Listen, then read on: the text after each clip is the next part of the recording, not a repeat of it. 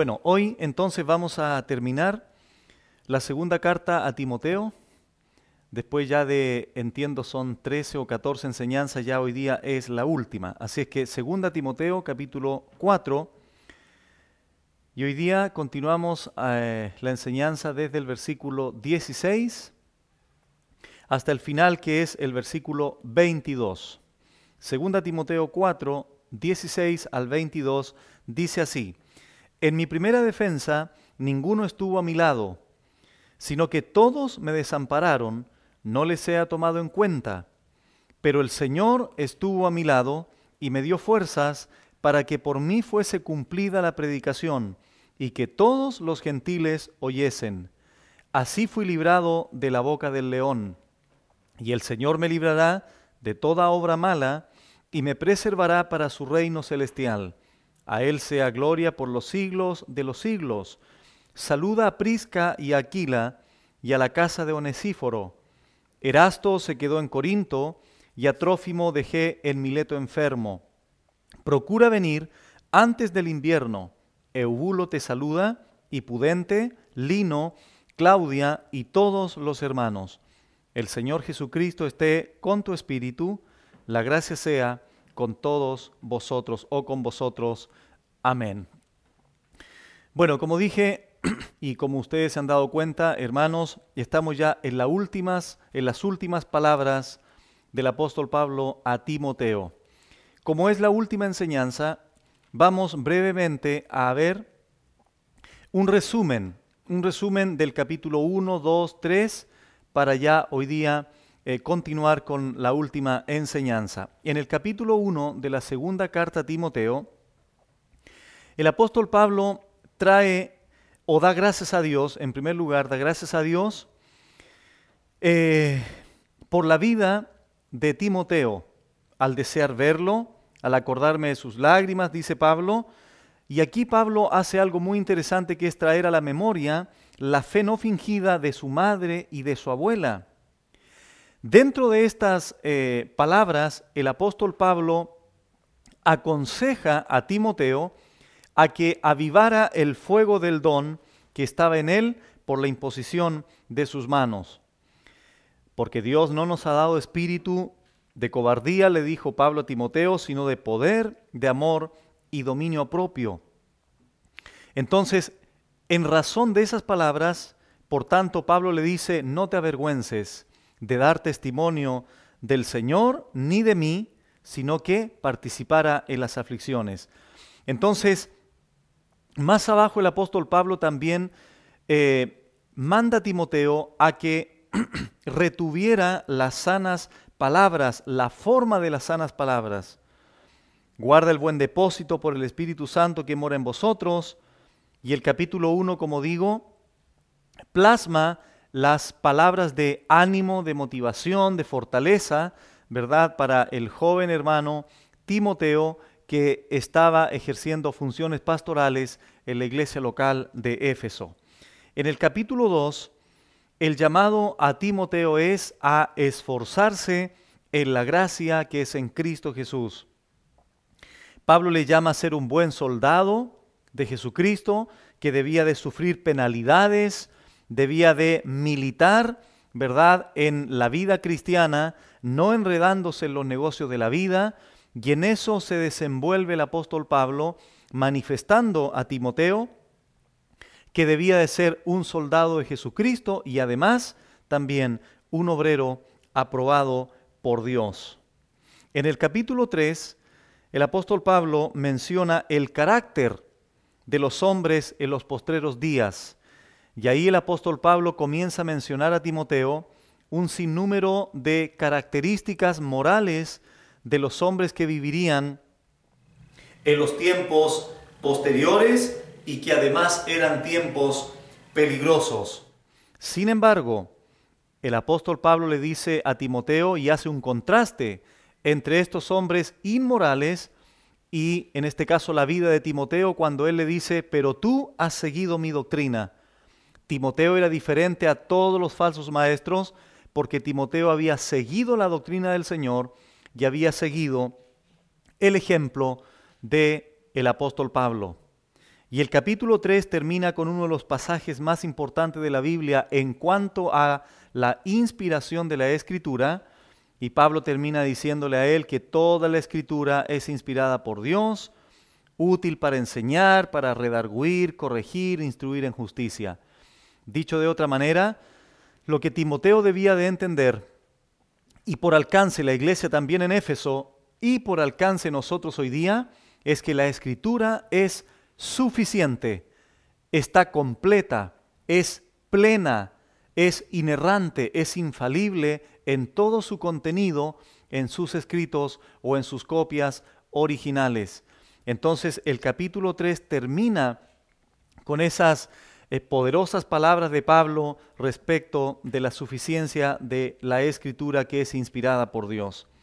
Y en el capítulo 4, el apóstol Pablo encarece delante de Dios y del Señor Jesucristo a Timoteo que él debía de predicar la palabra, predicar la palabra, instar a tiempo y fuera de tiempo, redarguir, exhortar con toda paciencia y doctrina. En otras palabras, todo el conjunto de enseñanzas, de realidades espirituales que Pablo estaba transmitiendo a Timoteo, decía relación con las funciones pastorales, con el cuidado de la iglesia, con el liderazgo y administración de la iglesia de nuestro Señor. Entonces, todo lo que Pablo manifiesta al joven Timoteo es precisamente lo que tiene relación con la conducción del cómo Timoteo debía de conducirse en la casa de Dios, que es la iglesia del Dios viviente. Entonces Timoteo recepciona, Timoteo escucha, Timoteo recibe los consejos espirituales del gran apóstol Pablo. Entonces, como vimos algunas enseñanzas pasadas, Pablo también le dice a Timoteo en sus últimos días de vida que Pablo había peleado la buena batalla, había acabado la carrera y había sido fiel en guardar la fe o la palabra o la doctrina del Señor. Entonces, Pablo asume también que esa fidelidad llevaría finalmente a recibir una corona de justicia, los galardones, las recompensas que Dios en este caso promete a todos aquellos en su servicio fiel a Dios han cumplido el ministerio. Y como vimos el sábado pasado, Pablo le pide que viniera pronto a verlo porque lo habían desamparado, solo Lucas estaba con él, Demas se había ido, ¿verdad?, de su lado porque había amado más este mundo, etcétera, etcétera. Y hay dos cosas que Pablo le pide también a Timoteo cuando viniera, que le trajera el capote o el abrigo para cubrirse del frío, venía pronto el invierno, y además le pide los eh, libros que se deduce que fueron los libros del Antiguo Testamento y eh, también los pergaminos, que era una especie de eh, hoja que se trataba del cuero de animal, que tenía un tratamiento especial, ¿verdad? Para que la escritura tuviese una duración más larga. Entonces, el apóstol Pablo pide eso, él no solamente quería traer calor a su cuerpo físico, sino que Pablo también necesitaba calor en su alma, y ese calor y ese abrigo venía solamente de la palabra del Señor. Entonces Pablo a su edad, casi los 70 años ya, insiste en seguir leyendo, seguir estudiando, probablemente ya dar sus últimas palabras a todos sus hermanos y a la iglesia del Señor. Entonces, ahora el apóstol Pablo menciona algo también muy interesante que dice ya relación con la enseñanza de hoy. Pablo dice en el versículo 16, después ya de la advertencia que le hace a Timoteo de guardarse de un Alejandro el calderero porque le había causado muchos males, entonces después de esa advertencia, ahora el apóstol Pablo le dice a Timoteo lo siguiente, en mi primera defensa, en mi primera defensa, ninguno estuvo a mi lado sino que todos me desampararon, no les sea tomado en cuenta.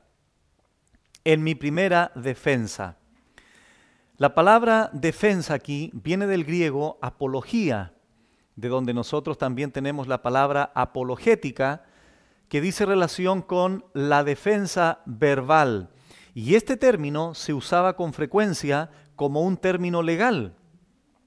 En el sistema jurídico romano existía la prima actia, que tenía relación en este caso con em, la primera presentación para establecer la acusación, la prima actio, y la secunda actio, que dice relación con la segunda, en este caso presentación ante el tribunal, para ya establecer si esa persona era culpable o era inocente.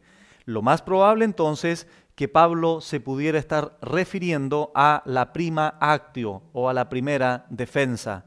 Es probable, hermanos, que la razón por el cual dejaron solo a Pablo cuando él dice que ninguno estuvo a mi lado, lo más probable es que haya sido por las consecuencias, el miedo de estos eh, compañeros de Pablo, el miedo a las consecuencias, ¿verdad? Que en este caso traía eh, de estar al lado de Pablo, de estar a favor de Cristo, a favor de su causa, porque esto inevitablemente también iba y naturalmente iba en contra del sistema romano, ¿verdad? Del imperio romano como tal.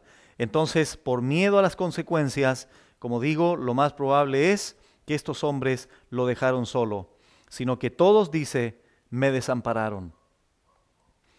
El hombre de Dios, el apóstol Pablo, entregó su vida discipulando, cuidando, visitando, enseñando, instruyendo fortaleciendo, consolando, exhortando, animando, motivando, impulsando. Y ahora este hombre de Dios se encuentra solo, desamparado. Y Pablo cita unas palabras muy, muy interesantes que nos dan a entender el corazón de este hombre de Dios.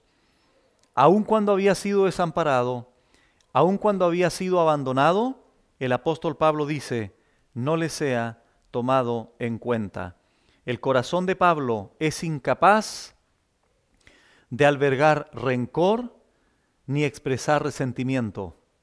Hay un deseo íntimo de gracia para quienes lo desampararon. Pablo había dicho a los filipenses, para mí el vivir es Cristo. Y si Pablo vivía Cristo, también tenía que vivir la disposición o, en este caso el perdón, ¿verdad? Para mí el vivir es Cristo.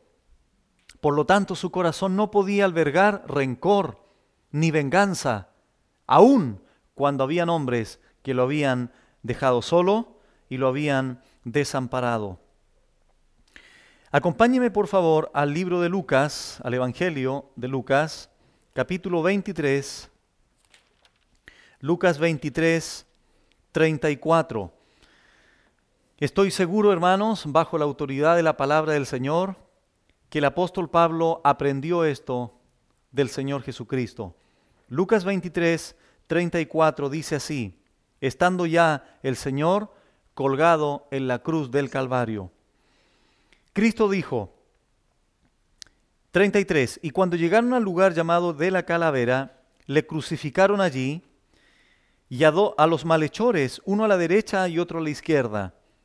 Y Jesús decía, Padre, perdónalos, porque no saben lo que hacen. Vemos aquí el corazón de Cristo orando al Padre, pidiendo el perdón por aquellos que no sabían lo que hacían. En el libro de los Hechos, capítulo 7, aparece otro ejemplo de un hombre que se llamaba Esteban. Esteban, curiosamente, en el griego su nombre significa guirnalda. Y en Hechos capítulo 7, 59 al 60 dice así, y apedreaban a Esteban mientras él invocaba y decía, Señor Jesús, recibe mi espíritu. Y puesto de rodillas, clamó a gran voz, Señor, no les tomes en cuenta este pecado. y habiendo dicho esto, durmió. Curiosamente también en el 58 había una persona muy interesante. Dice, y echándole fuera de la ciudad, le apedrearon y los testigos pusieron sus ropas a los pies de un joven que se llamaba Saulo, Saulo de Tarso, que posteriormente se le llamó Pablo, el mismo hombre que está escribiendo la carta a Timoteo y el mismo hombre, en honor a su nombre que ahora era pequeño, había dicho que aunque lo habían desamparado, que no le fuera tomado en cuenta. No tenemos dudas que Pablo aprendió esto del Señor Jesucristo, Esteban aprendió esto del Señor, a tener un corazón perdonador, lleno de gracia y de amor para aquellos que aunque nos hagan daño, nos abandonen, nos dejen solos, tengamos la disposición de seguir los pasos del Maestro. Regresamos a 2 Timoteo 4, versículo 17. El versículo 17, la primera expresión, la primera frase del texto, hace la diferencia. ¿Qué dice el, el texto 17? Pero el Señor estuvo a mi lado y me dio fuerzas para que por mí fuese cumplida la predicación y que todos los gentiles oyesen. Así fui librado de la boca del león. Pero el Señor estuvo a mi lado y me dio fuerzas. Esto es lo que hace la diferencia en la situación de Pablo, en la realidad de Pablo de haber sido abandonado, de haberlo dejado solo en su primera defensa, cuando Pablo dice, pero el Señor estuvo a mi lado.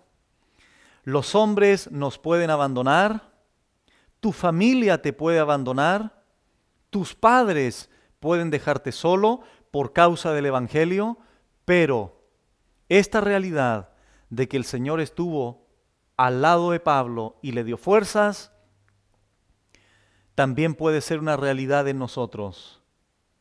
Aun cuando nos abandonen, el Señor estará a nuestro lado.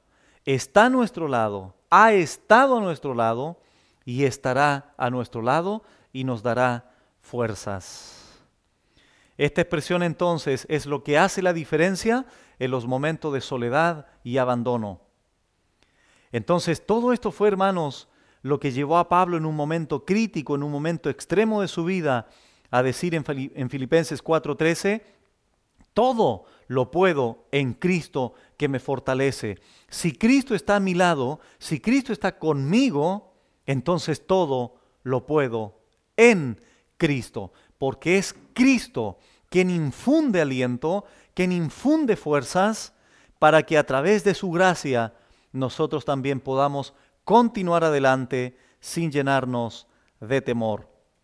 El abandono de Pablo no fue más poderoso que la presencia de Cristo en su vida.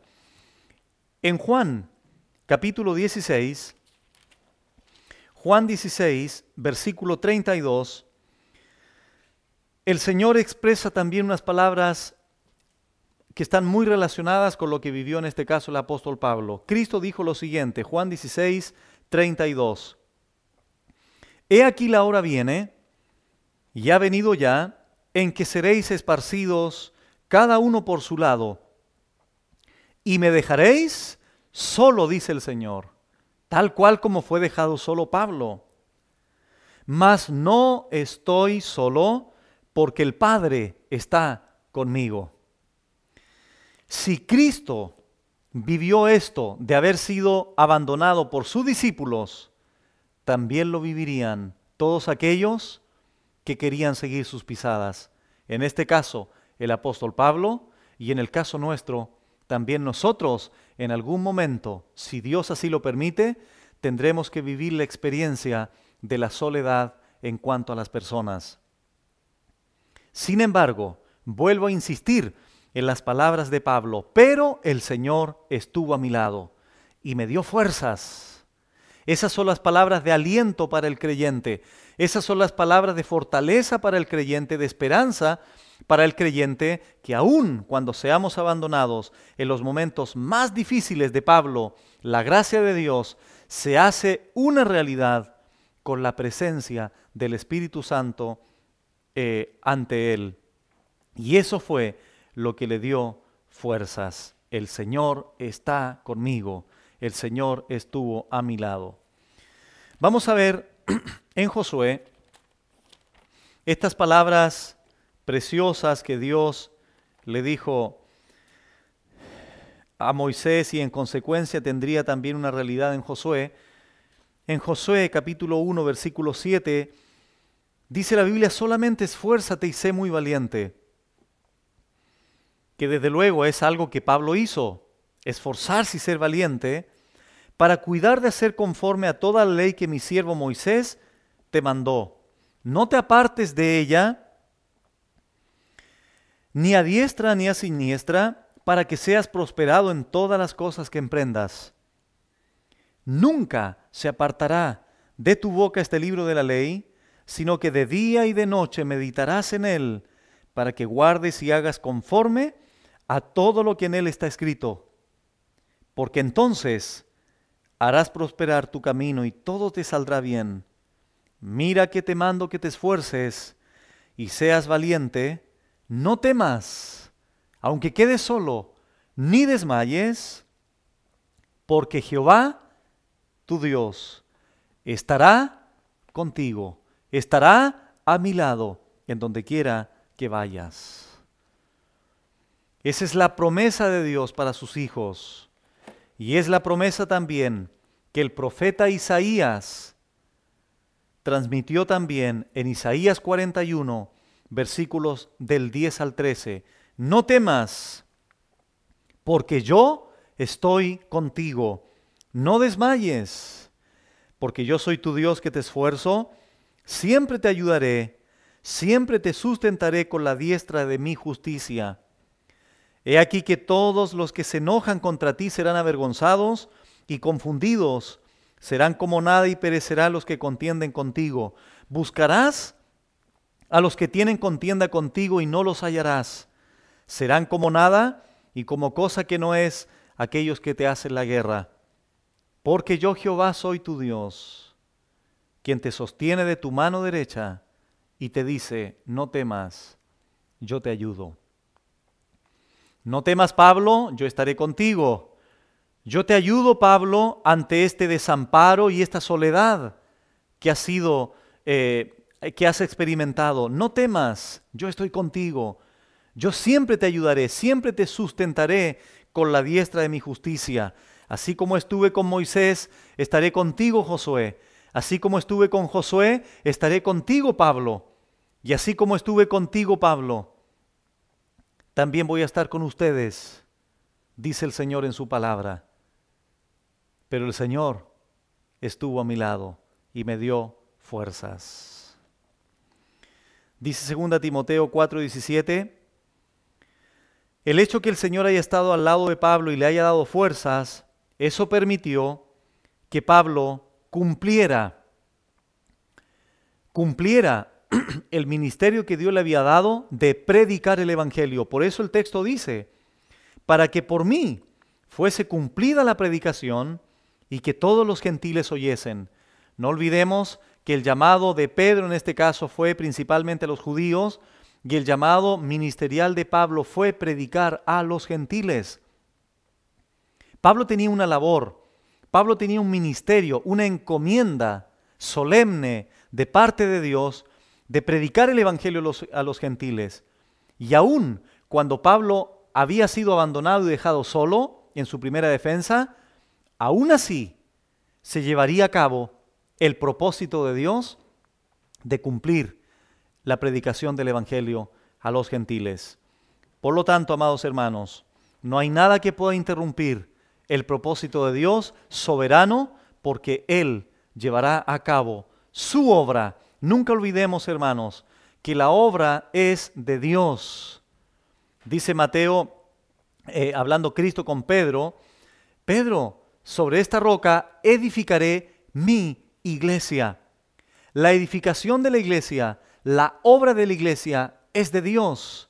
Si bien es cierto, Dios nos utiliza, nos usa para su gloria, pero es solamente por la gracia de Dios que ha establecido que a través de nosotros la obra se lleva a cabo.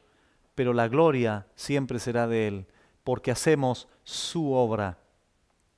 Como dice un pastor, no es lo importante lo que tú hagas para Él, lo importante es lo que Él puede hacer a través de tu vida. Entonces, el propósito de Dios de predicar el Evangelio se iba a llevar a cabo de igual manera, porque Dios es soberano.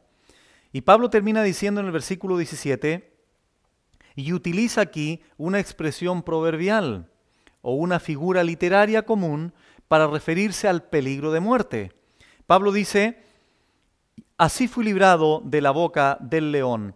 En Salmo 22, 21, 35, 17 y en 1 de Pedro 5, 8 también se menciona, por ejemplo, 1 de Pedro 5, 8, que Satanás anda como león rugiente buscando a quien devorar.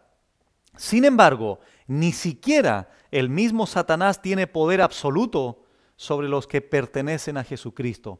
Entonces la expresión, así fui librado de la boca del león, es una figura para referirse a que Pablo sería librado, en este caso, de la muerte, pero en ese minuto, porque la muerte igual le esperaría. Por eso él dijo anteriormente, el tiempo de mi partida está cercano, estoy a punto ya de ser sacrificado o derramado. Versículo 18. Y el Señor me librará de toda obra mala.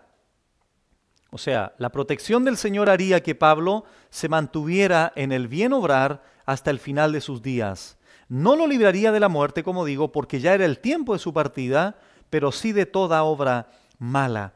Entonces, lo segundo que menciona Pablo es que el Señor lo preservaría para su reino celestial. Lo leo de nuevo el texto 18. Y el Señor me librará de toda obra mala y me preservará para su reino celestial. Por encima de las dificultades momentáneas, el apóstol Pablo mira hacia el futuro. Si bien es cierto, en el, en el tiempo presente en el que Pablo estaba viviendo, estaba viviendo dificultades, tribulaciones, Pablo pone sus ojos siempre en las glorias eternas. ¿Verdad? Dentro de todo este abandono, Pablo se enfoca en las realidades eternas que le esperaban. En segunda, Timo, perdón, segunda a los Corintios, segunda a los Corintios 4, 16, dice así el apóstol Pablo.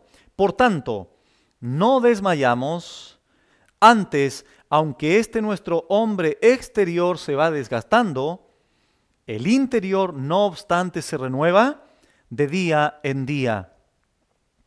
Porque esta leve tribulación momentánea, dice Pablo, produce en nosotros un cada vez más excelente y eterno peso de gloria. No mirando nosotros las cosas que se ven, sino las que no se ven. Pues las cosas que se ven son temporales, pero las que no se ven son eternas. Noten ustedes, hermanos, cómo Pablo, si bien es cierto, asume que está viviendo una leve tribulación momentánea, pero cuando Pablo vivía una situación momentánea, tribulación, dificultad, inmediatamente ponía sus ojos en las glorias celestiales, en las glorias eternas. Por esa razón también en Romanos 8:18, el apóstol Pablo ahora a la iglesia en Roma les dice, pues tengo por cierto que las aflicciones del tiempo presente no son comparables con las glorias o con la gloria, perdón, venidera. Noten ustedes, venidera lo que viene, el futuro glorioso que en nosotros ha de manifestarse. Para concluir la idea, uno de los pensamientos que debe gobernar la mente del creyente en el momento de las aflicciones, en el momento de las tribulaciones presentes, es la realidad futura celestial. que nos espera. Si has sido abandonado, traicionado, decepcionado, si tienes una enfermedad, si estás pasando la, la realidad triste de la, de la pérdida de un ser querido, hermanos, una, una, un pensamiento bíblico, una actitud bíblica es enfocarnos en las glorias eternas, en lo que nos espera. Dios enjugará toda lágrima, Apocalipsis 21, no habrá más dolor, no más lágrimas, no habrá muerte, no habrá más clamor, etcétera, etcétera, porque he aquí todas las cosas viejas pasaron y he aquí son todas hechas nuevas. El apóstol Pablo entonces, él dice que sería preservado para su reino celestial. El apóstol Pablo tiene la mirada en el reino celestial, donde está sentado Cristo a la diestra del Padre. Por esta razón, Pablo no se enfoca o no tiene ninguna preocupación del reino terrenal donde estaba sentado el tirano emperador llamado Nerón. Entonces, es un muy buen ejercicio espiritual, hermanos, cuando estés agobiado, cuando estés decepcionado, triste, enfermo, etcétera, etcétera, enfocarte en las glorias eternas. Y esa leve tribulación momentánea que estás pasando no será nada comparable cuando seamos enfrentados y sea consumada la salvación en la eternidad.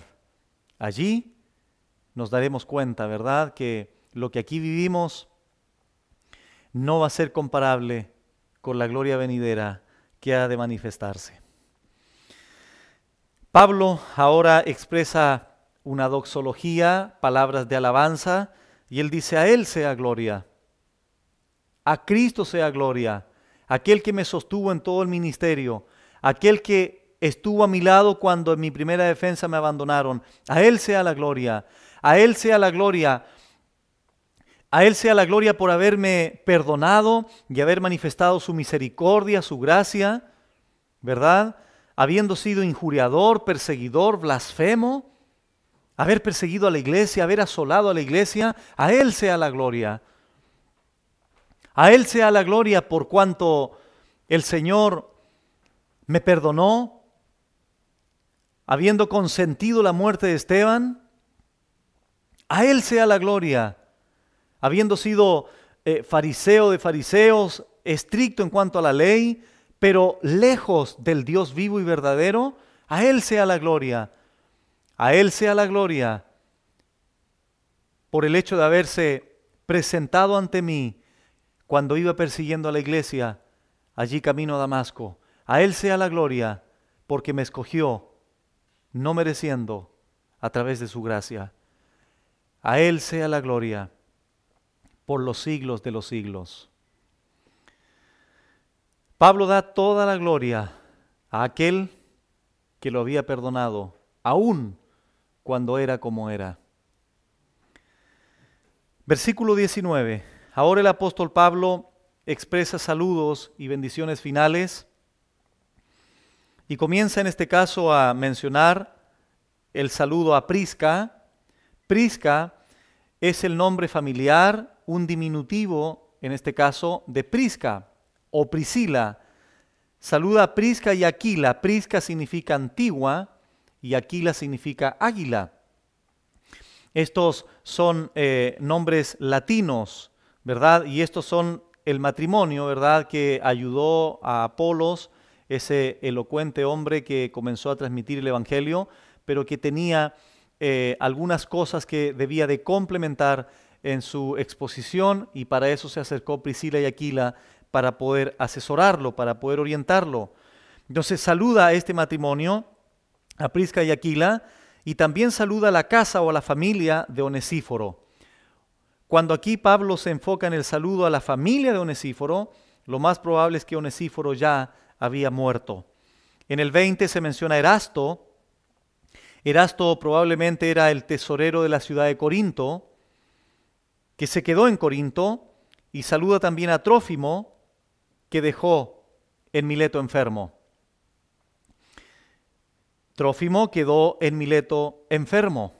La pregunta es, ¿por qué Pablo no convocó a los apóstoles o por qué Pablo no eh, convocó a algún anciano de una iglesia para poder sanar a Trófimo? Bueno, a través de todo el Nuevo Testamento o concluyendo el Nuevo Testamento, nos damos cuenta, hermanos, que el don como tal de sanidades ya estaba acabando. Si bien es cierto, Dios hoy día puede sanar a alguien dentro de su soberanía y su voluntad, sin embargo, aquí no se llevó a cabo el don como tal de sanidad. Dice Santiago 5, ¿verdad? Allí hablando de una, eh, de una persona enferma, en este caso por eh, una situación espiritual, llamen a los ancianos de la iglesia, ¿verdad? Y si bien es cierto, nosotros podemos continuar orando por los enfermos, lo más importante siempre será la enfermedad del alma del hombre, la enfermedad y la muerte a través del pecado del hombre. Entonces, este hombre Trófimo quedó en Mileto enfermo y en el versículo 21 eh, el apóstol Pablo le dice nuevamente a Timoteo, procura venir antes del invierno antes del invierno. Ahí fue donde encargó el capote, el abrigo, para en este caso prevenir el frío el apóstol Pablo. Entonces procura venir antes del invierno. En la época invernal el mar Adriático estaba cerrado a la navegación. Y esto muestra no solo la prisa del apóstol por tenerle consigo a Timoteo, sino también la ternura de su corazón al desear evitarle dificultades al joven pastor Timoteo en un viaje arriesgado. Entonces, procura venir antes del invierno y aquí se mencionan a cuatro personas que no se sabe mucho de ellas, que en este caso tienen nombres en latín, que nos hace deducir que eran italianos. Dice la Biblia, Eubulo te saluda, Pudente, Lino, Claudia y todos los hermanos. Como digo, estas personas pudieron haber sido italianos pertenecientes a la iglesia en Roma.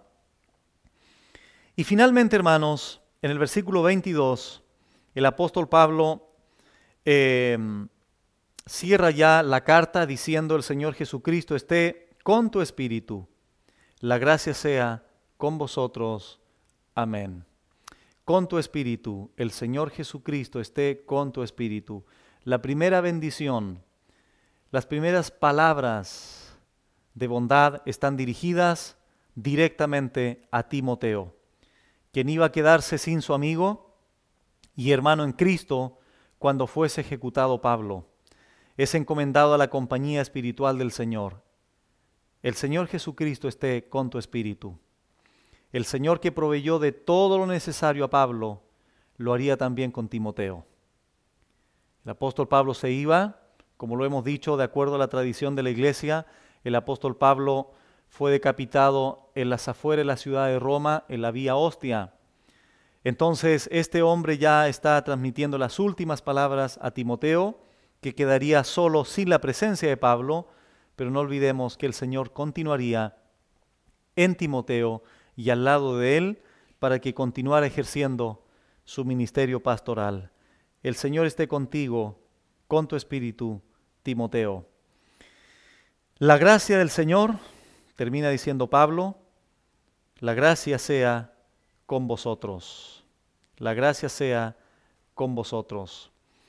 En las trece cartas que el apóstol Pablo escribió, en todas ellas, al final de sus escritos o de sus epístolas, siempre menciona, la gracia sea con vosotros.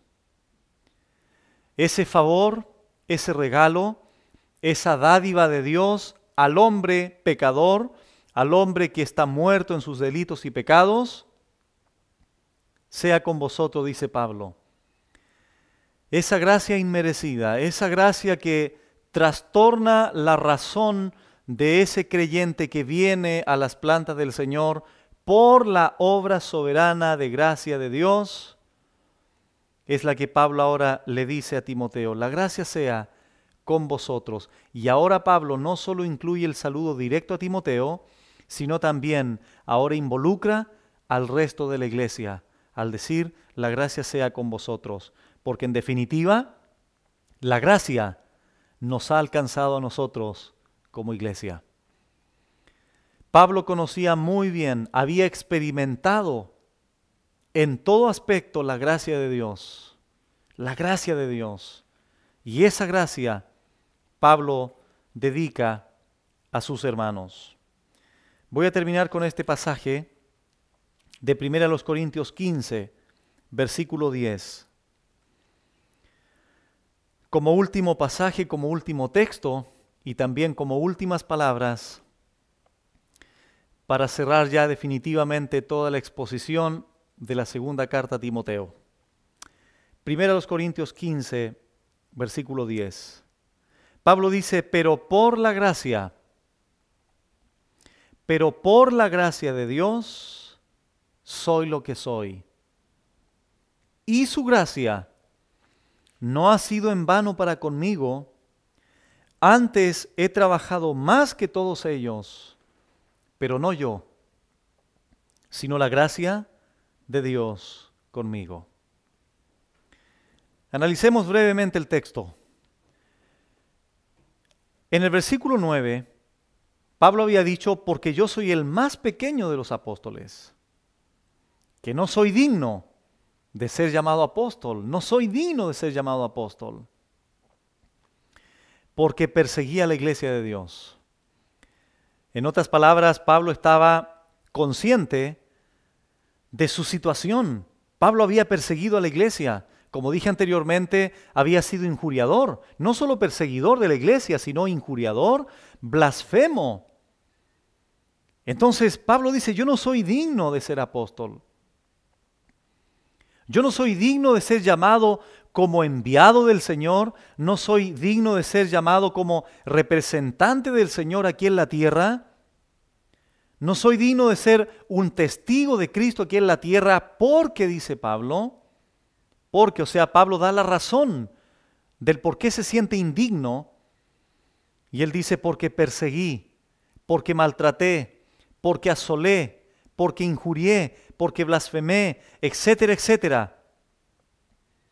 Porque perseguí a la iglesia de Dios, porque perseguí a la iglesia de Dios, porque perseguí al cuerpo de Cristo, porque perseguí a la eclesia o a los eclectos, perseguí a los que han sido llamados fuera, a los elegidos a vivir una vida apartada para Dios, una vida separada para Dios, a esa iglesia perseguí. Entonces Pablo ahora dice en el versículo 10, pero, pero, por la gracia de Dios, esa gracia que está dedicando a los hermanos a través de Timoteo. Pero por la gracia de Dios soy lo que soy. Y su gracia no ha sido en vano para conmigo. ¿Por qué no ha sido en vano? Porque en primer lugar me ha salvado y en segundo lugar me ha llevado a trabajar más que todos ellos, pero no yo, sino la gracia de Dios conmigo. Dicho de otra manera, la gracia que me ha salvado también es la gracia que me capacita para trabajar para su reino. Aún cuando haya perseguido a la iglesia de Dios. La gracia sea con vosotros, amados hermanos. Todos ustedes y todos ustedes que nos ven también a través de este canal deben entender lo siguiente el más vil pecador, desde el punto de vista humano, alguien podría decir, probablemente yo fui peor que Pablo, o fui peor que Saulo. Yo fui un criminal, o yo soy un criminal, yo soy un violador, yo soy un blasfemo, soy un engañador, soy un fornicario, soy un adúltero. La condición de nombre delante de Dios es muerte espiritual. Efesios 2.1 la Biblia dice que Él os dio vida cuando estabais muertos en vuestros delitos y pecados. Dice Romanos 3.10, está escrito que no hay un justo ni a un uno, no hay quien busque a Dios, no hay quien entienda, No hay un solo bueno. Aparte de Jesucristo, todos los seres humanos están en pecado. Todos se desviaron, aún se hicieron inútiles, ¿verdad? Veneno y engaño hay en su garganta. En Romanos 3 del 10 en adelante está la radiografía del corazón humano, ¿verdad?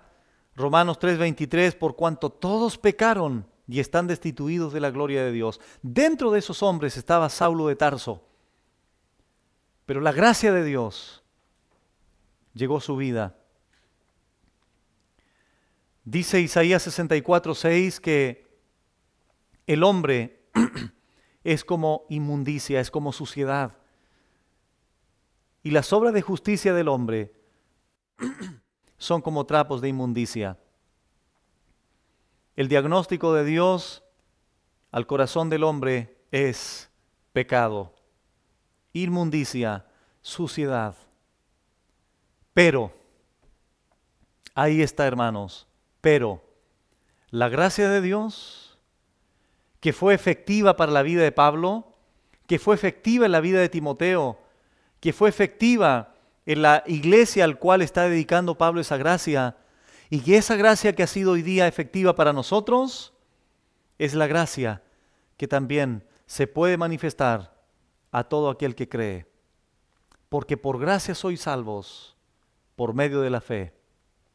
Y esto no de vosotros, pues es don de Dios, no por obras, porque las obras del hombre son como trapos de inmundicia y trapos de inmundicia allí tiene que ver con el trapo que las mujeres hebreas se ponían en sus ciclos menstruales.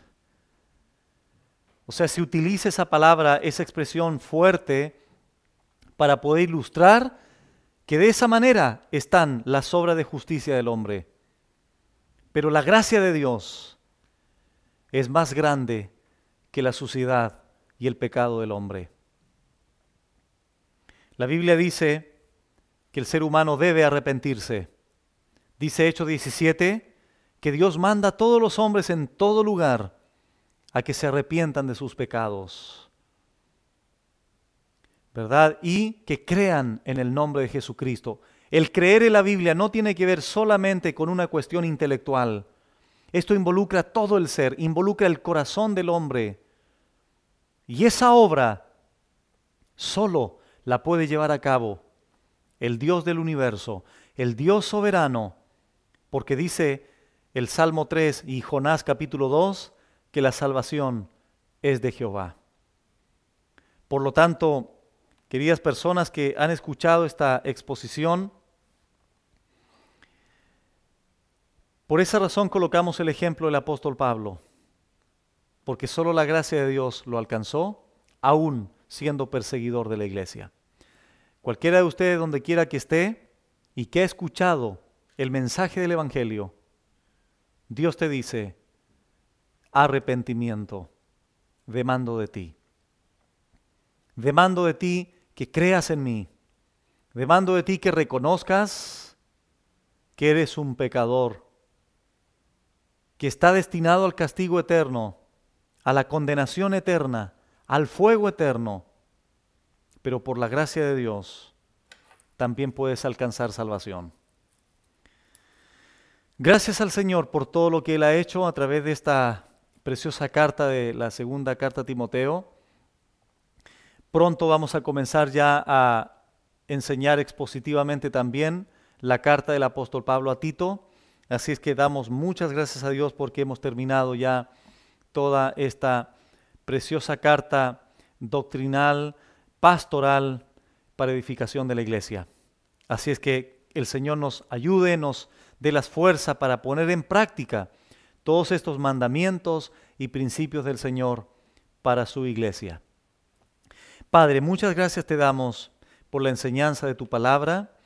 Gracias Señor por este tiempo que hemos dedicado, Señor, a, a explicar eh, lo que tú nos has dado, Señor, como entendimiento para poder expresar y transmitir a la iglesia y a todos aquellos que han escuchado, Señor, estas enseñanzas. Permite, Señor, y danos también la capacidad de poner por obra lo que hemos aprendido a lo largo de todas estas exposiciones.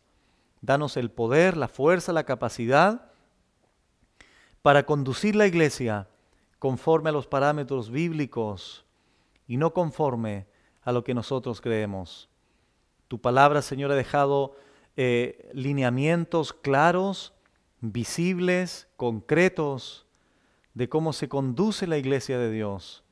Y a nosotros los pastores, danos, Señor, también la habilidad, la sabiduría, el tino, la inteligencia espiritual para llevar a cabo tus mandamientos.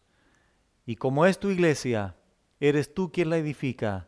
La obra es tuya, Señor, pero nos usas a nosotros para la gloria de tu santo nombre. Muchas gracias. Prepara nuestro corazón también para las futuras enseñanzas de las cartas, de los libros que tú has dejado, Señor, para edificación de nuestra alma. Señor, y también te pedimos que estas palabras que transmitimos al final de la enseñanza puedan también, Señor, ser efectivas en todo aquel que las escuchó y que estas palabras, Señor, traigan vida, arrepentimiento y fe a aquel que ha sido, Señor, desde antes de la fundación del mundo, escogido para salvación. Gracias, Padre, en el nombre de Jesús. Amén.